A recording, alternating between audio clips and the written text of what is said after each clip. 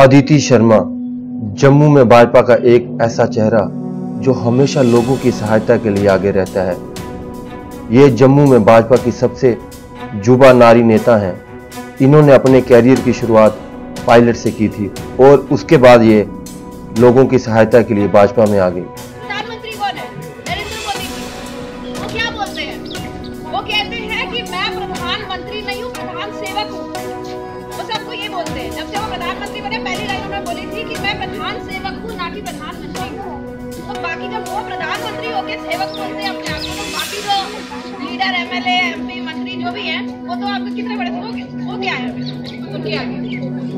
तो मैं आपको सिर्फ़ एक ही बात पूछती हूँ कि यहाँ पर क्या चीज़ चाहिए? आप लोगों को क्या परेशानियाँ हैं? वो बोलो ये अपनी तरफ़ से गरीब औरतों को सिलाई मशीन भी प्रोवाइड करती हैं। और उनके हर छोटे बड़े मसलों को हल करती हैं। ये हर साल युवाओं के लिए क्रिकेट और अन्य खेलों का आयोजन भी करवाती हैं और उन्हें नशे से दूर रहने का आवेदन करती हैं। आज यहाँ कॉमर्स कॉलेज के ग्राउंड में हम लोग सब यहाँ पर जम्मू ए और जम्मू बी का जो मैच चल रहा है, क्रिकेट मैच, और लड़कियों का मैच है we are here to apply them we are here to encourage them और ये स्पोर्ट्स के लिए, इसको बढ़ावा देने के लिए हम लोग सब यहाँ पर आज इकट्ठा इनकरेज करना चाहिए अपने बच्चों को खास करके लड़कियों को। और आज जिस तरीके से लड़कियाँ सामने आ रही है हर एक फ़ील्ड में तो I am really graceful to here to be here कि ये लड़कियाँ इतने अच्छे तरीके से सारी बहुत ज़्यादा एक्साइटेड हैं। एंड हम सबको इनके लिए बहुत uh, uh, जितना हो सके उतनी हमें इनक्रेज करना चाहिए खासकर लड़कियों को। यहाँ पर हमारी टीचर्स भी हैं कोच हैं जो लेडीज़ हैं।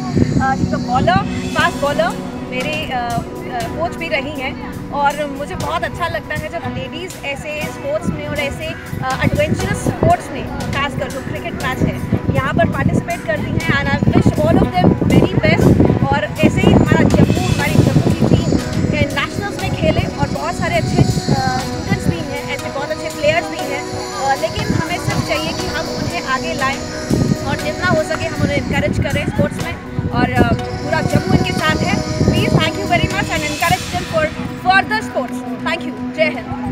अंत में हम यही कहेंगे कि अदिति जी ऐसे ही देश और जम्मू वासियों की सेवा करती रहें। ऐसे भाजपा दबंग नारी नेता को हमारा प्रणाम। जय हिंद, जय भारत।